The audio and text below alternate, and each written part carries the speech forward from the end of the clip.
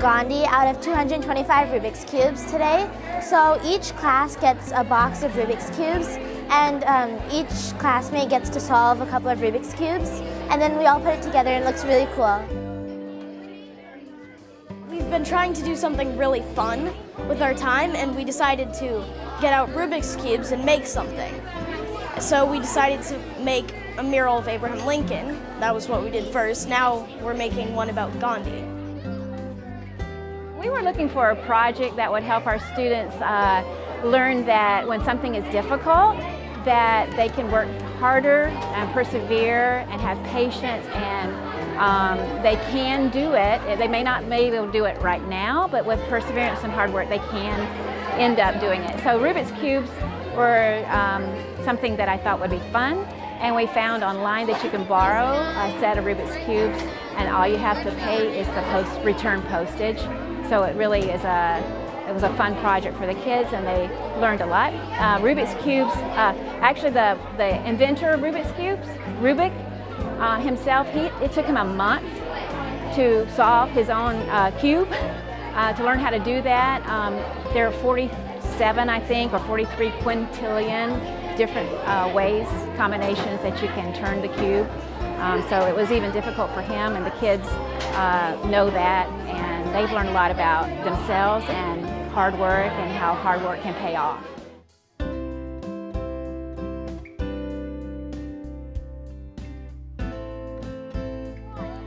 Well, this was a really fun idea, and this uses a lot of um, thinking, like it uses really in-depth thinking, and I guess it really challenges you, because a lot of honor students need a bit of a challenge. Some people are really good at it and can do one in like a few seconds. Some people it takes like a minute, some people it takes like five minutes to do one. The mosaics are online. Uh, you can choose from different ones. You can also make your own mosaic.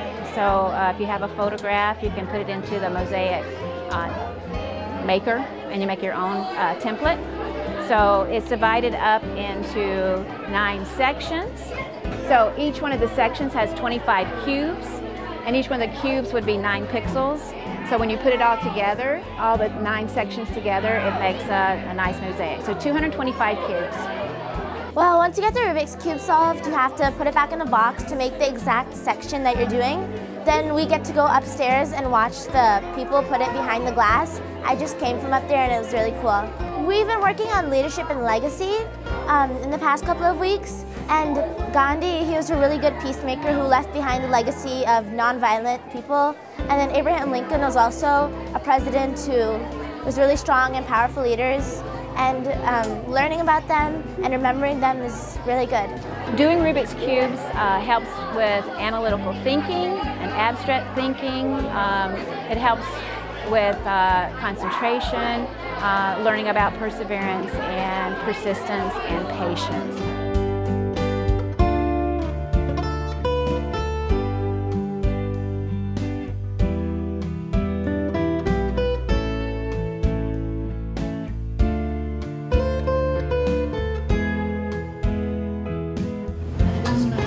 just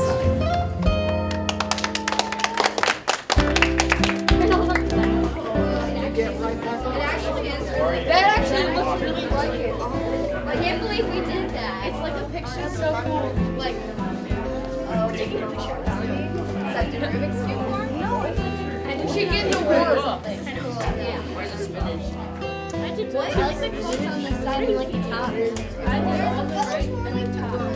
I like the quotes on the side. There's like a. That looks really. Yeah, that looks cool. Like it looks real.